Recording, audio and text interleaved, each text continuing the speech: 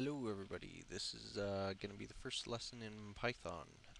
Uh, if you haven't downloaded Python yet, go to python.org and click download and get the current version.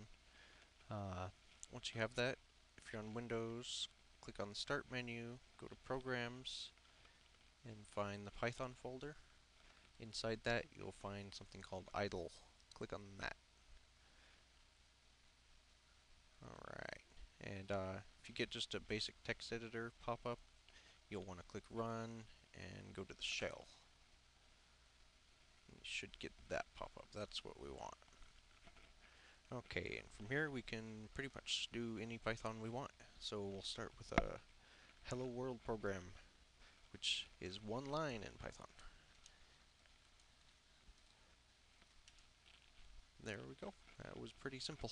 And uh, variables are very simple as well in Python. A equals 5. Print A. Do print 5 plus A. 10. Really simple stuff.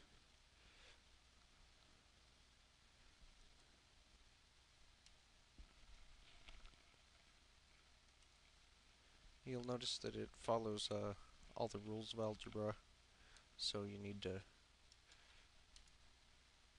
actually use parentheses when you need to, obviously. Uh, that's pretty much it for this introduction, just how to get into Python and mess around. You know, idle is the best thing to use at this point. It's really simple. You get immediate output so you can see what your commands do. Uh, so just from this you figured out how to use variables and how to print things. Uh, go ahead and check out my next videos. Thanks.